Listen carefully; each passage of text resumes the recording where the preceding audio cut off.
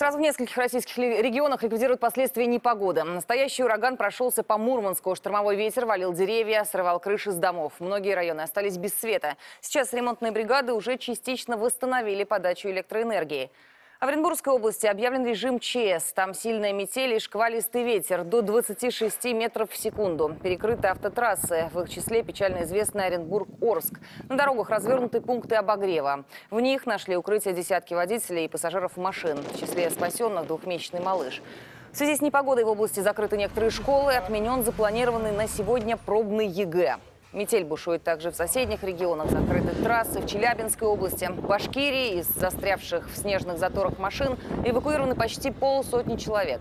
Серьезные проблемы сегодня испытывает и Дальний Восток. На Камчатку и Курилы обрушился мощный циклон в Петропавловске-Камчатском. На одну из улиц сошла снежная лавина. Она задела три машины. К счастью, люди не пострадали. Сейчас на месте работают спасатели. Из-за гололеда, заносов и практически нулевой видимости существенно затруднено движение транспорта и в других районах ограничено автобусное сообщение.